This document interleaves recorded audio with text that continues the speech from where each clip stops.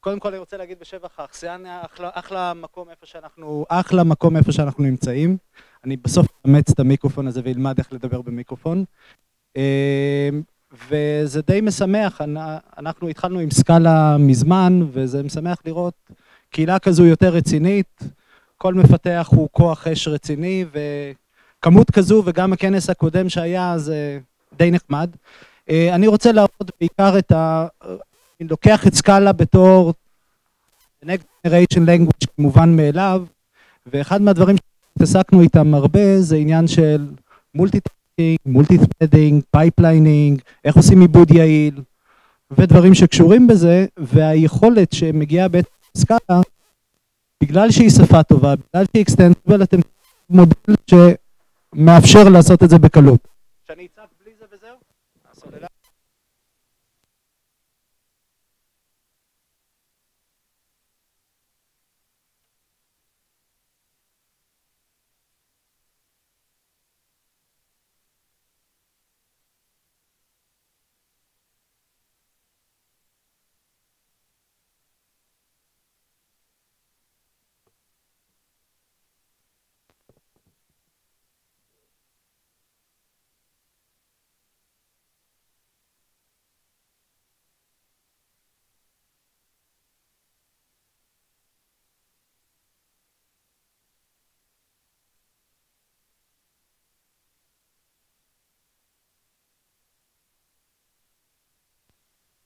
איי, איי, איי. טוב, נגמרו לי התירוצים לא לדבר במיקרופון. אז זה התמונה שהייתה צריכה להיות פה, אבל אין. אז תדעו לרגע שיש פה איזושהי מבחנה עם כל מיני חתיכות DNA ומה הקשר למה שאנחנו מדברים. אז הקשר הוא כזה. כמו כולנו מכירים, גרף ישר כזה, לוגריתמי שאומר שהיכולת עיבוד שלנו, ה-CPU, כמות הטרנזיסטורים, מהירויות, זה כמעט מדויק, כל שנתיים עולים, כל שנה וחצי עולים פי שתיים, כן? תלוי מה מודדים. עד לא מזמן, בעצם כל קטע קוד שכתבתם הוא כמו תוכנית השקעה בבנק. מריצים את הקטע קוד הזה, ה-CPU נהיה יותר מהיר כל שנה, תלוי איך מודדים, 20 אחוז, והמהירות של הקוד נהיית יותר מהירה בלי לעשות כלום. רק לשבת, לא לעשות כלום, לא לקלקל, ודברים מתחילים לעבוד יותר מהר. אז החלום הזה נגמר, ומה שאני אומר פה לא חידוש לאף אחד. ה-CPUים מפסיקים להיות יותר מהירים, הם באותה מהירות, הם מגיעים כמעט, הם קצת נהיים יותר מהירים, הם מגיעים לתקרה של המעטפת פרפורמנס מבחינת חום, והדרך שזה ממשיך לגדול זה יותר ויותר טרנזיסטורים על הסיליקון. יותר ויותר ממשיך לגדול כל הזמן, כן? אם פעם היינו מדברים על, היה, היה מחשב שהשיגו עם שני מעבדים, זה היה כזה או-אה, אני זוכר זה, להשיג כזה דבר, לאוניברסיטה היה חגיגה גדולה. היום, כמה מעבדים יש לכל אחד בטלפון? אוקיי? יש לי בטלפון יותר מעבדים מבלפטופ כמעט. אז המצב היום שאם רוצים יותר מהירות, אז צריך לשנות משהו בשיטת חשיבה, צריך לשנות איך אנחנו עובדים, ומי שמכיר מולטי ת'רדינג, אז יודע שזה לא כזה קל כמו שמספרים. היה לי אנשים שהתראיינו פעם, ששאלתי אותם, אחת מהשאלות, הרוטינה זה אם הוא מכיר מה זה לכתוב בסביבה שהיא מולטי ת'רדד. פעם היו שואלים את השאלה הזאת, היום כבר לא שואלים. אז אמרו, כן, יש את הטאסק, יש את הת'רדים, והקוד, הכל כרגיל, נכון? אז מי שמכיר, מי שהיה קצת, ראה קצת מלחמות, מלא חיוך כזה של מי זה הילד הזה שלא מכיר מי נגד מי. אז יש אתגר פה, וזה לא סתם שבתקופה הזו שומעים על ארלנג, שזה VM לא הכי מהיר בעולם, אבל הוא נותן מענה מסוים, ואני חושב שמה שסקאלה מביא פה למשחק זה בעצם איזושהי הסתכלות שמצד אחד אנחנו חיים על ה-JVM שאנחנו מכירים, יש כמה דברים שאנחנו מפסידים לעומת ארלנג כמו היכולת לעשות garbage collection בלי לעצור את העולם, מצד שני פרפורמנס של VM של ארלנג הוא לא כזה מדהים, וה-JVM יש לו את היכולות המיוחדות שלו. אז פה יש לנו הזדמנות מסוימת לקחת כל מיני רעיונות יותר מתקדמים, שאם מסתכלים מסביב לא רואים הרבה כאלה. רואים אותם ב Scala, רואים אותם ב Clojure, רואים העתקים ב Groovy, ולא רואים הרבה דברים שמתקדמים הרבה מעבר לדברים הישנים. כנראה שזה לא סתם, כי רוב האנשים הטובים של אה, עולם ה Java של פעם, אלה שלא מקובעים ב-JEE, וסליחה שאני, אם מישהו נעלב פה, הם רוצים לרוץ קדימה, Java לא אפשר להם את זה, אז הם זזו הצידה לכל מיני סביבות יותר מודרניות, Scala, Erlang,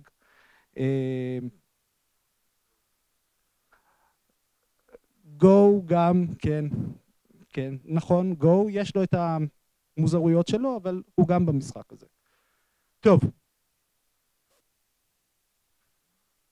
אז uh, אני, אני רוצה לדבר, אני לא מתכונן לעשות שיחה מאוד uh, ארוכה, אני רוצה להתפקס בעיקר בפיוטרס ובפרומיסס, uh, אבל קצת לבקר את המודל של פעם, אם תיתנו לי סימן שכולם כבר מכירים את זה, נרוץ על זה מאוד מהר. אז אנחנו רוצים לדבר מה היה, על מה אכ"א מביא למשחק, סליחה, סקאלה מביא למשחק, וגם אכ"א. אה, ולעשות הצצה. טוב. אז קצת לגבי האוצר מילים, כן? Scalability shifted. האוצר מילים של פעם היו אומרים פרלליזם. היום שאומרים פרלליזם זה משהו אחר. היום המילה שאתם שומעים, threading, multi-threading, multi-process וכן הלאה, באמת קוראים לזה היום concurrency. תקראו מאמרים מלפני עשר שנים, קראו לזה פרלליזם. היום בפרלליזם מתכוונים לזה שאני לוקח משימה אחת ואני יודע להריץ אותה במקביל בעזרת כל המשאבים שיש לי במכונה.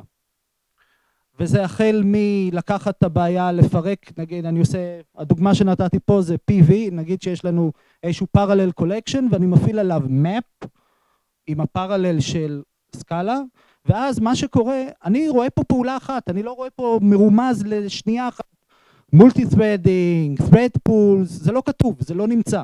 למה? כי זה מתחבא במימוש של ה map. בחרתי collection שהוא פרללי, מאחורי הקלעים יהיה fork join וקרקס שלם של דברים בשביל לבצע את המשימה, המערכת חתומה על המשימה, המשימה זה להפעיל את, במקרה הזה להפעיל map על פונקציה מסוימת, והמשימה תישבר לחתיכות עבור כל CPU, עבור כל thread שרץ על ה-CPU, ת'רדים שגומרים את העבודה יותר מוקדם יעשו פעולה של גניבה של חבילות של עבודה שנמצאות במקום אחר. עכשיו, אין פה משהו חדש, אין פה משהו מיוחד. אבל אם מסתכלים על קטעי קוד שעושים דברים כאלה ביום יום, נכון? אז איפה אנחנו רואים בג'אווה חלוקה לפורק ג'וין, להפעיל אקסקיוטרים ודברים כאלה? בדברים שמסמנים אותם כהדברים החשובים. כי זה הרבה טרחה. אז אני לא אפעיל את ההרבה הזו על סתם דברים קטנים ולא משמעותיים, אני אפעיל אותם רק איפה שאני חייב, כי שם זה הצוואר הבקבוק, ואני צריך להמציא את הצוואר הבקבוק הזה, וכל הזמן יהיה לי את השאלה האם התועלת שאני אקבל בביצועים שווה את כל הכאב ראש של קוד מסובך ומסורבל ולהתפרק ולחזור חזרה, מסורבל. אחד מהסיבות לקסם שיש לנו בסקאלה זה הדבר הזה. שחסל סדר הדיונים הארוכים. יש backend, מישהו יושב וחושב ועובד קשה בשביל לגרום לזה להיות קטן, וזה הג'וב שלו. כי כל הדברים שקשורים ל parallel, אה, יש, יש סיפורים, אה, סיפורי זוועות על אנשים שחשבו שהם עשו collection שהוא בלי lock ים מיותרים, הלכו ל Doug Lea, ישב על זה יומיים ומצא להם את כל הבעיות אחרי שהם עבדו על זה שלושה חודשים. אז כל הנושא הזה הוא קשה. אבל זה חלק מ library שהופך את זה למאוד מאוד נגיש לבן אדם הפשוט. כל מה שאני צריך לעשות זה לייצר collection שהוא parallel, כי אני צריך להצהיר שה collection יודע לעבוד בסביבה אה, שזה לא מעבר אחד לפי הסדר, אין, אין תלויות וכל מה שמסביב. ברגע שעשיתי את זה, יש לי מנוע שלם שעושה את העבודה. עכשיו, רק בשביל להמחיש את זה, יש עבודות שאנחנו אומרים, טוב, אנחנו יודעים איך לחלק את זה. אנחנו ניקח את ה chunk של העבודה, נחלק אותו לחתיכות קטנות, ניתן לכל thread איזשהו אוסף של הבלוקים של העבודה, כל אחד עובד בערך איקס זמן ונגמר. אז האמת זה לא כזה פשוט. אני אתן לכם דוגמה אמיתית מהחיים, איפה הדברים הפשוטים האלה עובדים. נגיד שאני צריך לעשות רנדרינג פוטו-ריאליסטי. מה זה אומר? אה, כמה מכירים את מה שאמרתי הרגע? טוב. אז אני אנסה להמחיש לשאר מה אני מתכוון. עושים סימולציה של צילום. אני לוקח משטח, זווית ראייה, אני לוקח נגיד את כל הבניינים שיש פה, ואני מנסה לעשות רייט רייסינג, לקחת את הכאילו מצלמה, לקחת כל הקרני אור שהיו מגיעים למצלמה, בכיוון הפוך לזרוק אותם, לראות איזה החזרות יש, אוקיי? מצלמה שלי, ככה וככה, נגיד אלף פיקסלים, בעיה קלאסית פרלליזם, נכון? כל מה שאני צריך לעשות, להחליט כמה CPUים יש לי, שמונה. התמונה שלי מכילה אלף אלף בשביל שיהיה קל, מיליון פיקסלים. אני צריך לקחת מיליון קרניים, שמונה מעבדים, לחלק, להגיד כמה לכל אחד, דן, נכון? לא. למה לא? כי הקרן אור שהולכת שם על השמיים, מהר מאוד אני מבין שהיא לא פוגעת בכלום וגמרתי את העיבוד עליה, והקרן אור שפוגעת פה בזכוכית בבניין ממול, תעבור 15 החזרות שאני אצטרך לראות מאיפה היא הגיעה, ואז העיבוד שלה יהיה די ארוך. זאת אומרת, לא כל קרן יש לה עיבוד אחיד. מה אני מקבל ב framework הזה שאני עושה parallel? לא אכפת לי. כי מה אני נותן? אני נותן פונקציה. זה הפונקציית rendering, היא קצת יותר מסובכת מפונקציה פשוטה שתיכנס לנו במסך, אבל על נקודה אחת זה יכול לעבוד שעה, על נקודה אחרת זה יכול לעבוד עשירית שנייה.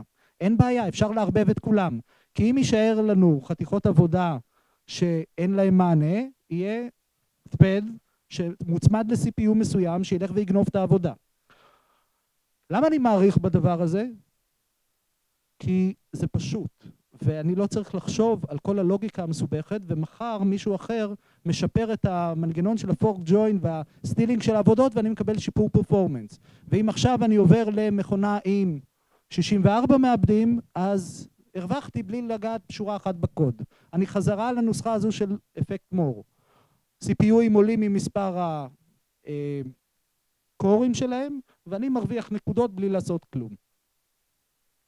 טוב, יש multitasking הקלאסי, שמתחלק ל multi processing, שזה הסגנון היוניקסי הישן, עם החסרונות שלו אני מייצר process ים, יחסית אני במצב מסודר, בלי בעיות, אני משלם את המחיר של RPC, יש לי שליטה יותר טובה, החיים הם יחסית בסדר.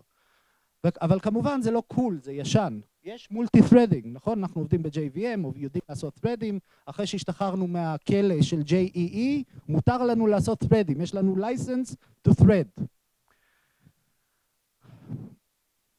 אתם מכירים אנשים, אנשים שמנסים לעשות terminate ל-thread, ומוצאים המון סיפורים למה זה בסדר, אבל זה לא, כי נשארים תמיד לוקים, ויש כל מיני צרות, פרוסס אפשר להרוג בלי בעיה.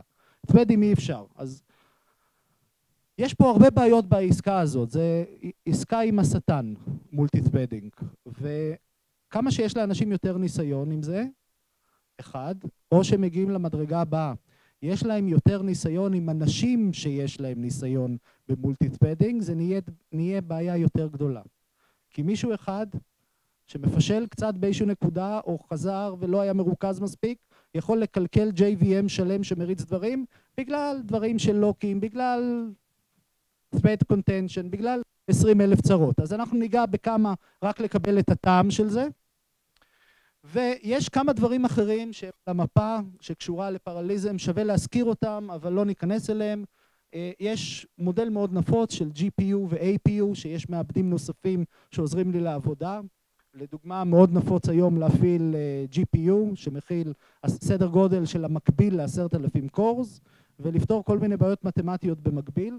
מי שמתעניין דרך אגב יש library שמחברים Scala לדברים האלה, אוקיי?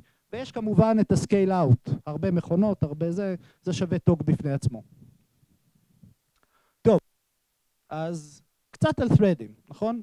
יש את הדוגמה המאוד מאוד תמימה, וזה כל פעם מפליא אותי מחדש, כמה אנשים חושבים שזה בסדר, אוקיי? אז בואו בוא נסתכל לרגע על הקוד. יש public run, חוזה רך, לא טרנזקציות, לא שום דבר מיוחד, יש boolean, please stop, כל זמן שאני לא ב please stop, אני רוצה להמשיך להריץ משהו. קוד מאוד מאוד נאיבי. ויש את ה-stop me, אני אומר, תעצור אותי. עכשיו, מי לא נתקל בקוד כזה? מי כן נתקל בקוד כזה? אוקיי, מה, טוב, אתם מכירים מה השאלה הבאה הולכת להיות. טוב, אז זה נראה תמים, נכון? כי אני לא בטרנזקציות, אז למה אני צריך לבזבז אנרגיה על סינכרונייז וכל מיני כאלה דברים? והדוגמאות קוד האלה היו נפוצות כבר מלפני מעל עשר שנים. וזה לא עובד, נכון? זה נראה עובד, אבל זה לא ממש עובד, ויותר גרוע מזה, הרבה פעמים מישהו יגיד אבל זה עבד אצלי על המכונה, והוא צודק. כשהוא עבד על מכונה היה מעבד אחד, אבל הוא שם את זה ב server של Sun עם ארבע מעבדים באותו זמן, ושם זה לא עבד. מה זה לא עבד?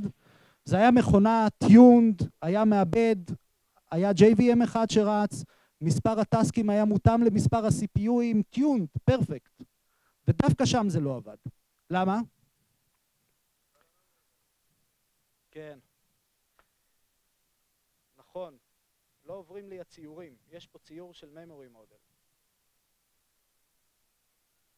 אני כמו אלה שמחלקים שקפים, אז אתם יכולים להעביר ביניכם ולראות. השקפים החדשים, האלקטרונים, אוקיי? אז אני, עד שזה יגיע, ואל תשלחו לי מיילים מזה, אה, מה מצויר שם?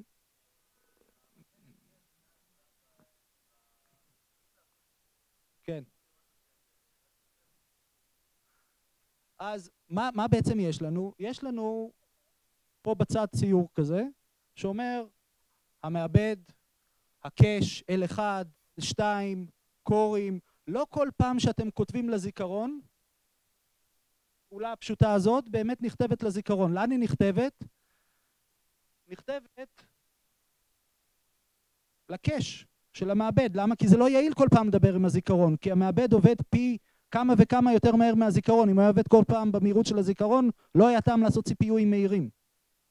אז יש אופטימיזציה למערכת, כל כתיבה רגילה לזיכרון שלי היא תלוי ב-JVM, היא אולי לרגיסטרים, במקרה שהקומפיילר החליט בכל זאת לכתוב לזיכרון, זה לקש שלי, אם אני רץ בקור אחד וה stop me רץ ב core אחר, אני לא אראה את ה stop me, כי אני חי במעטפת של ה cache שלי, הוא חי במעטפת של ה cache שלו, ואלא אם כן יהיה פה משהו שיגרום למערכת לזוז, אז אף אחד לא ידבר עם אף אחד, יש קיר בינינו, כי אף אחד לא, לא היה סיבה להעביר זיכרון.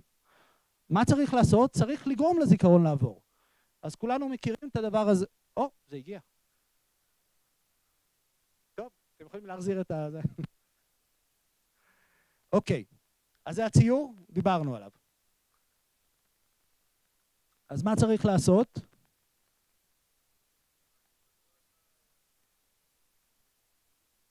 כן. כן, אני... נכון. יותר קל עם הארוך. תודה.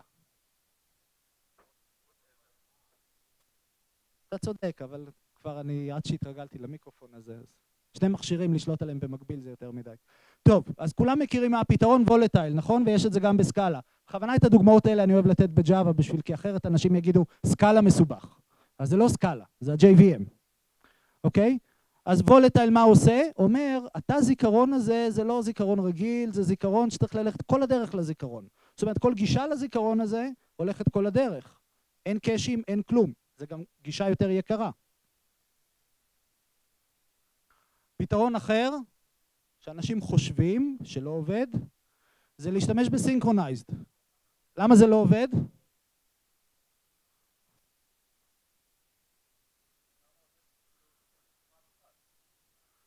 לא, כי ה stop me לא יכול להיכנס. ה run רץ, הוא תופס את ה lock, ואז ה stop me יחכה שה run יגמור בשביל להיכנס ל lock.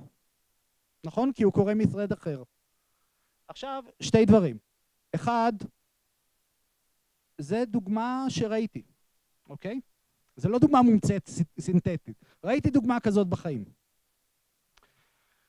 שתיים, synchronized הוא המקביל ל volatile. volatile זה שיטה שלי שאומרת, זה זיכרון מיוחד דרך לזיכרון של המעבד, דרך כל ה cache ים, הזיכרון המשותף, עד אליו, וכשאני קורא, אני קורא כל הדרך חזרה. בגלל זה זה איטי. יש את synchronized שכולם מכירים אספקט של synchronized שהוא לסנכרן, נכון? אחד תופס lock והשני מחכה. יש ל synchronized פעולה סמויה אחרת חשובה, שזה שאני נכ... לסנכרן את ה memory model, מישהו פה אמר memory model, התפקיד החשוב האחר, הלא מפורסם של synchronized, זה שברגע שאני מגיע ל synchronized, כל מה שקרה בעולם שהוא מעניין אותי קיבלתי סינכרון עליו, זאת אומרת, עשיתי fence בזיכרון, קיבלתי עדכונים ל cache שלי מהתמונת מצב האמיתית של הזיכרון, ושידרתי החוצה, אם צריך, את השינויים שלי. זאת אומרת, המטרה פה של ה synchronized זה לשבור את הקיר הזה, שאני לא רואה את העולם האמיתי, אני רואה את העולם של הקאשים והרגיסטרים שאני עובד איתם, ולא את התמונה של הזיכרון. כשעושים synchronized, עושים מעין flush כזה, ומסדרים שהתמונת עולם שלי ושל הזיכרון תהיה אותו דבר. כן, אבל שונה, נכון. נכון.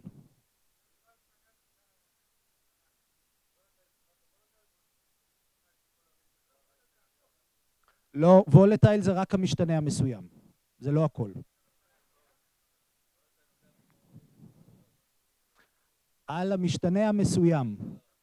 עזבו, ניקח את זה אחרי זה לקרב אגרופים, עם הממורי מודל, עם ה-20 עמודים. וולטייל מתייחס למשתנה עצמו, יותר מזה, אם המשתנה הוא מסוג של זיכרון כפול שלא היה בתקופת ה-32 ביט כמו דאבל, גם לא מובטח לך שום דבר. אוקיי? וולטייל זה תכונה של משתנה. זה אומר, לא רגיסטרים, לא L1, L2, L3, קשז, כל הדרך through בשביל הגישה למשתנה המסוים. אם אני טועה, אני מבטיח להתנצל לפני כולם, אוקיי? לגבי המשתנה...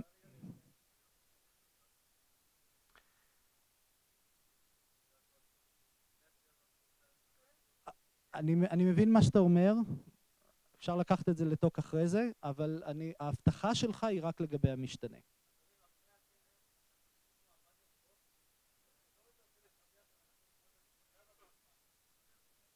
טוב, עכשיו יש כל מיני תרגילים שעושים, וכאן עוזר לעבוד עם משתנים שהם אימיוטבל. עכשיו, אני מהגישה, אני שייך לבית ספר הפרגמטי, שאומר mutable, immutable, functional וכן הלאה, הכל טוב ויפה, אבל לא בכל מחיר. כי לפעמים יש גם שיקולים של performance, ודרך אגב, אחד מהדברים היפים שרואים בספרייה של, אה, בספריות של סקאלה, שה API הוא נראה יפה immutable, אבל הרבה פעמים המימוש עצמו משתמש במשתנה שהוא var. אין פשע בלהשתמש ב var, צריך רק לדאוג שזה לא מפעפע החוצה ב abstraction. אז אחד מהתרגילים, וזה סקיצה כן? נגיד שיש לי map של טוקנים, וגם כן אני בחוזה חלש, אני לא בחוזה טרנזקציוני. אז בחוזה החלש הזה, יש לי map ויש לי פעולה פשוטה, יש לי get על איזשהו string ויש לי put שאני שם string ואיזשהו token. אני לא בחוזה טרנזקציוני. אז אם אני לא בחוזה טרנזקציוני, אני יכול לעשות את זה רך יותר. אם הייתי הולך לבית ספר המקורי ועושה את זה עם synchronized, אוקיי? מה, היה, מה הבעיה בזה? אני בסביבה מרובת threadים, עובד עם הרבה הרבה task ים במקביל, ופתאום תקעתי lock contention, כולם יתחילו לריב על ה lock הזה. אז כמובן יש כל מיני פתרונות בית ספר שאנחנו מכירים, שלא לשים lock אחד, לשים מערך של lock ים, לעשות hash, ליפול על מה שיוצא לי ב hash, ואז אין lock אחד שאני מחזיק על הכל, אלא אני מחזיק מערך של hash ים. אם יש לי חוזה חלש, אני יכול לעשות תרגיל אחר. כי המסלול של ה write והמסלול של ה read הם לא אותו דבר, והסקיצה של הרעיון הוא כזה. אני עובד עם map שהוא immutable, אוקיי? כשאני עושה get, אני הולך ל map ואני עושה חיפוש, והכל בסדר. כשאני עושה set, אני בעצם תחת synchronized, לוקח ועושה שינוי, אני מייצר map חדש שמכיל את הפר החדש שלי. זאת אומרת, אני משנה את המאפ פה, אני מייצר פה value חדש של map, והvalue החדש של המאפ מחליף את ה... משתנה MP. עכשיו, יכול להיות פה מצבי ביניים, נכון? יכול להיות שאני עושה 15 גטים במקביל ומישהו עכשיו מנסה לכתוב איזשהו ערך. מה קורה? אם המשתנה היה מפ ישן של ג'אווה ולא הייתי עושה סינכרונייז, מה היה בעצם קורה פה? כאוס, פיצוץ, נכון. למה? כי יש שם איזה מבנה נתונים של עץ, הש, שתיים מנסים, כאילו, רק אחד כותב, נכון? אבל השני קורא ובאמצע מתחת לרגליים משהו משתנה לו ואנחנו לא יודעים לאן הוא הולך. לא בריא. למה זה עובד בסקאלה? כי המפ הוא אימיוטבל ואני עובד על העתק של המפ שאולי הוא לא עדכני. כי בכל רגע נתון בזמן יש העתק של מפ טוב ויש עוד העתקים אחרים שהם כולם טובים. אם אני תופס את הגרסה הישנה, היא לא משתנה לי מתחת לידיים, אוקיי? ואם אני במקרה תפסתי את החדש, אז אחלה, יש לי את החדש. אין לי מצב ביניים, אוקיי? בגלל זה הרבה פעמים זה טריק כזה שהוא די נפוץ בקידוד שהוא רך, קאשים ודברים כאלה. ה read וה write נפרדים, ואז זה נותן לי הזדמנות לנצל את זה. כן.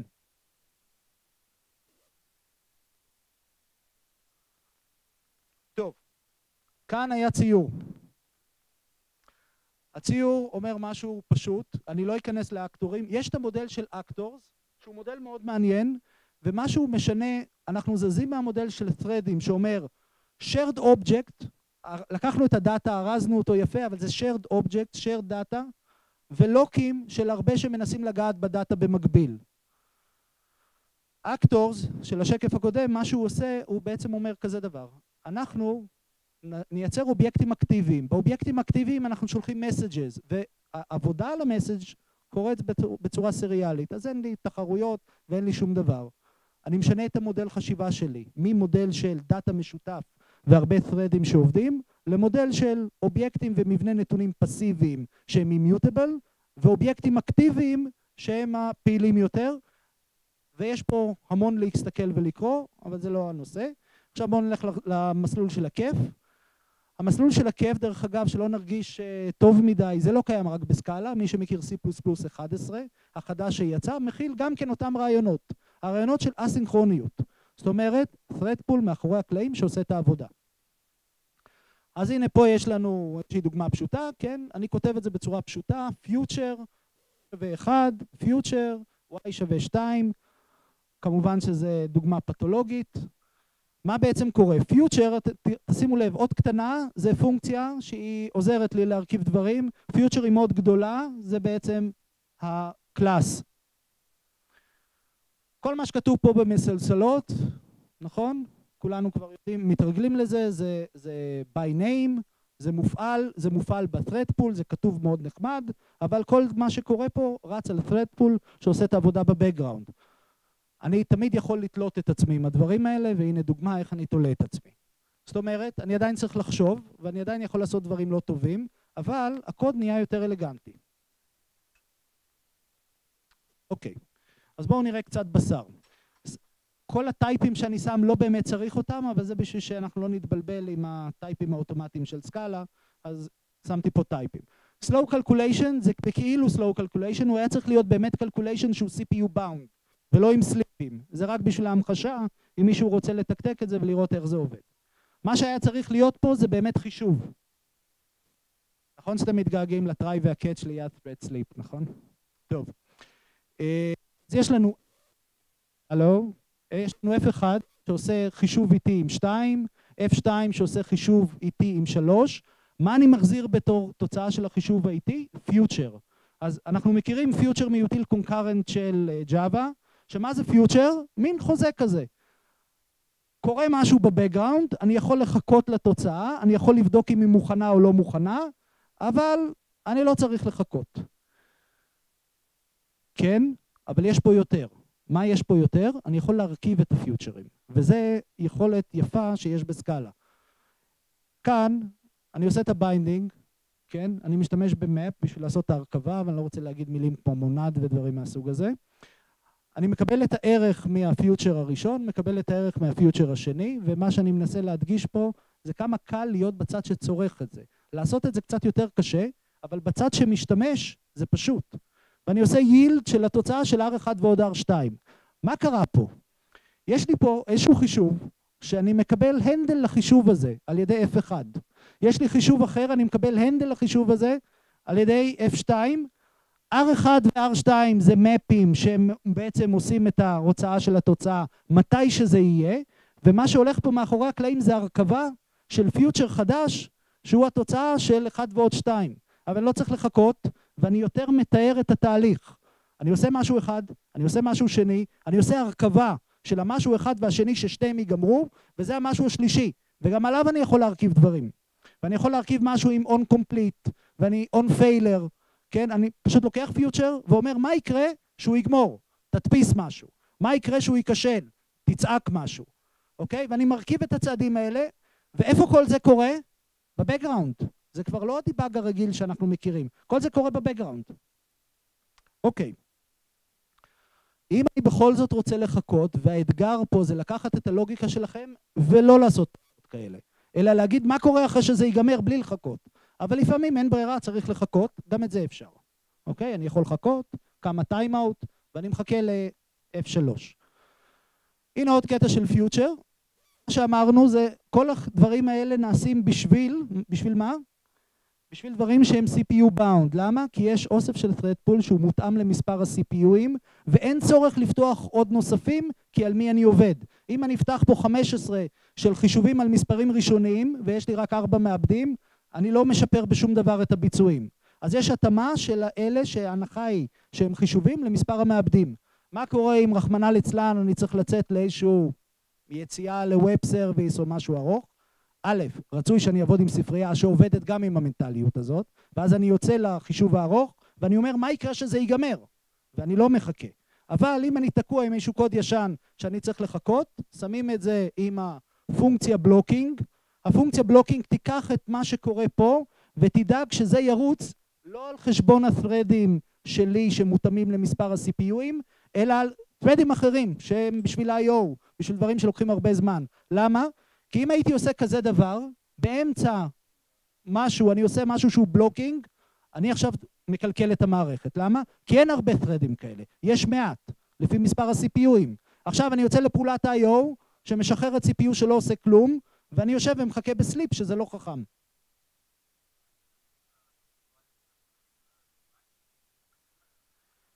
כמו שזה כתוב פה, כן, אתה יכול לשלוט על זה כמובן. אתה יכול נכון, השימוש היותר חכם זה לקחת פה את הקונטקסט ועם איזה thread pool אני עובד ואני יכול להחליט שיש לי כמה כאלה ולחלק את העבודה ביניהם. אני הולך כרגע למודל הפשוט. אני יכול לנהל את ה-thread האלה.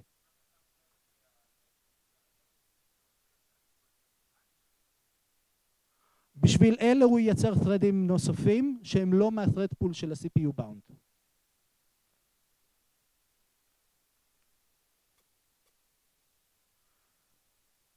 טוב, אז לכל future יש גם את הצד השני שלו, זה ה-promises, אוקיי? אה, יש אפילו אמירה כזו ש-futures may not happen, אה, but promises cannot be broken, כן, שזה מתייחס לדבר הזה. תחשבו על promise ועל future כאל pipe, אוקיי? future זה הצד של ה read, איפה שאני קורא מה קרה אחרי איזושהי פעולה אסינכרונית. promise זה הצד שאני יכול לכתוב חישוב. אז הנה דוגמה, אני מייצר promise שמחזיר Int, אוקיי? יש לי את ה promise, ממנו אני יכול לקבל future. תחשבו, זה קצת כמו מדע בדיוני עם worm holes, כן? אני מייצר, מנפח עכשיו שני חורים, חור אחד לכתיבה וחור אחד לכתיבה, ואני יכול לשלוח אותם לאן שאני רוצה. כל אחד הולך למקום אחר. עכשיו אני כותב איזשהו, איזשהו פיוטר, רק רק, רק, כן. רק בשביל להראות שכל הביצוע הזה בכלל קורה אסינכרוני, כן, בשביל להמחיש את זה, הוא לא קשור ל... ולפיוטר הקודמים. אז מה אני יכול לעשות בעצם עם פרמס? אני יכול להגיד לו compete with, אני יכול לתת לו פיוטר ולהגיד לו תשמע חבוב, אתה הפרמס, צמוד לפיוטר הזה, שהוא ייגמר, תזרים בתעלה את התוצאה של החישוב. שידכתי ביניהם, יצאתי מהתמונה, אני לא צריך אותי יותר. יכול לקחת וידנית לעשות כבר את החישוב, כן, לעשות נקודה סקסס, לתת לו מספר ולהגיד 12 בתעלה, זה יגיע לצד השני של הפיוטר הזה. אוקיי?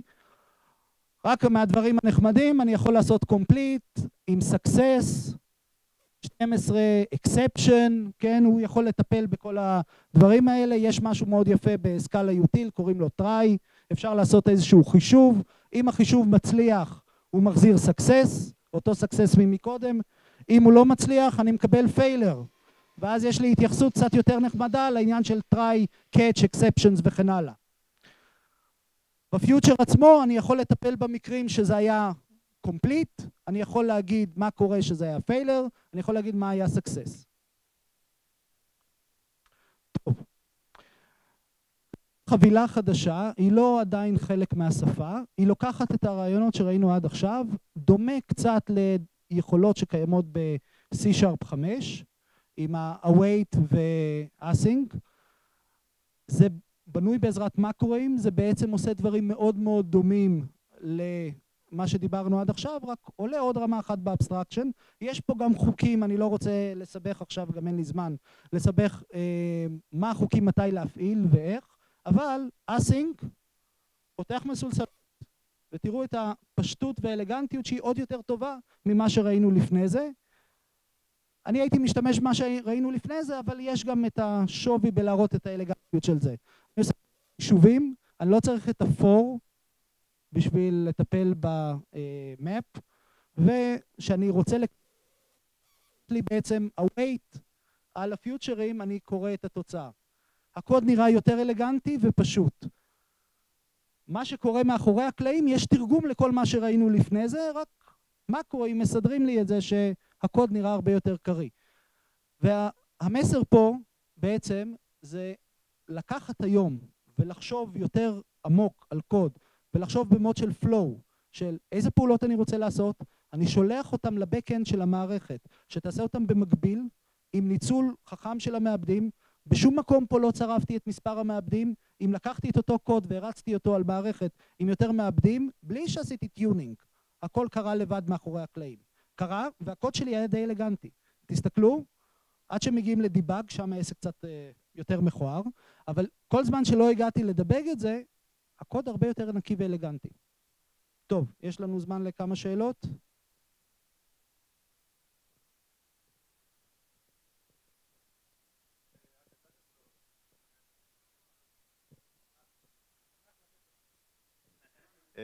בואו נראה אם זה עובד. יש אה, את Akka Data Flow שמסתמך, סבבה.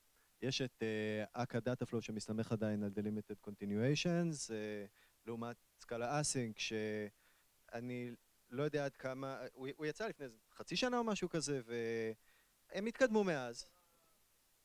אה, ידוע לך באיזה מהם כיום יותר אה, כדאי להשתמש?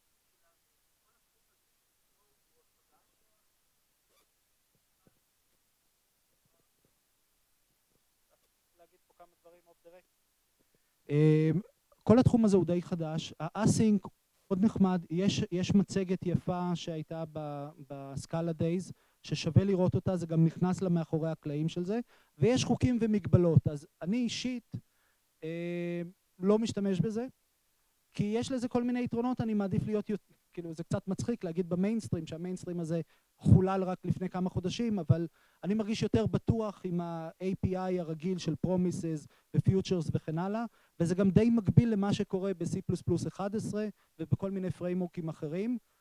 ה-Async ו-ה-Await זה נחמד איך שזה עושה את זה, זה קצת מתחרה כזה במה שמייקרוסופט עשו, זה נראה גם יותר טוב מבחינת היכולות, מה שמייקרוסופט עשו ב-C-Sharp אה, החדש, אבל אה, אני מעדיף יותר את ההארדקור, שיש לי יותר control על זה.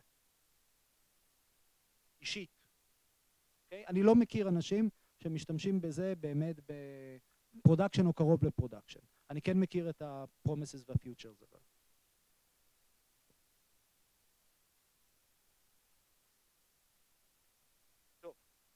אז, בשביל להשאיר אתכם עם טעם להמשך, שורה תחתונה, איפה שאפשר, וזה מגיע בזול, ה-transparent parallelism זה שאני לוקח collection, מעביר אותו ל mode של parallel, ואני יכול לעשות פעולות של map, כל אחד בטח מוסיף reduce, ועוד כל מיני פעולות מהסוג הזה במקביל, באפס מאמץ, זה כוח מאוד חזק, וזה פשע לא לנצל את זה איפה שזה קיים.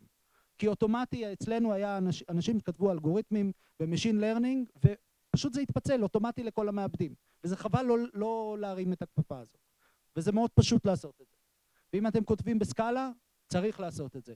אם אתם לא כותבים בסקאלה, זו אולי סיבה לעבור לסקאלה ולו רק בגלל הדבר הזה. הלאה, actor model זה שינוי בתפיסה, ובהרבה בעיות העסק נהיה הרבה יותר פשוט ברגע שעושים shift, לא הרבה thread ים ו-shared data, אלא אובייקטים אקטיביים שיש בהם מנוע פנימי שיודע לעשות דברים במקביל, ואני יכול לעשות המון כאלה. והמערכת דואגת לזה שזה לא יהיה thread פר אובייקט אקטיבי, אלא יש אוסף של מילואימניקים החיילים שהם באים לשרת בסביבה הזו של ה actor ים והם כולם מתייצבים לתקתק דברים ב actor הנתון. כל אחד מקבל assignment, הולך לתקתק דברים ב actor.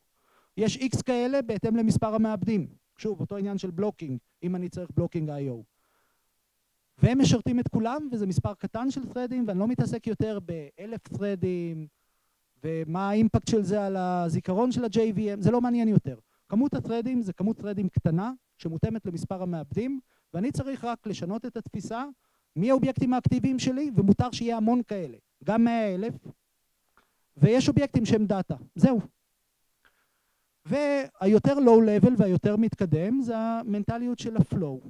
כמובן שתראו, כשאני עובר מפה, מלמעלה למטה, מורכבות עולה, אבל גם הכוח והשליטה נהיים יותר חזקים.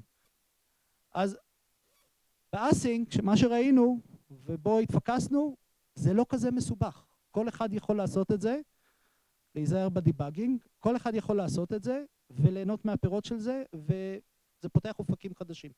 תודה.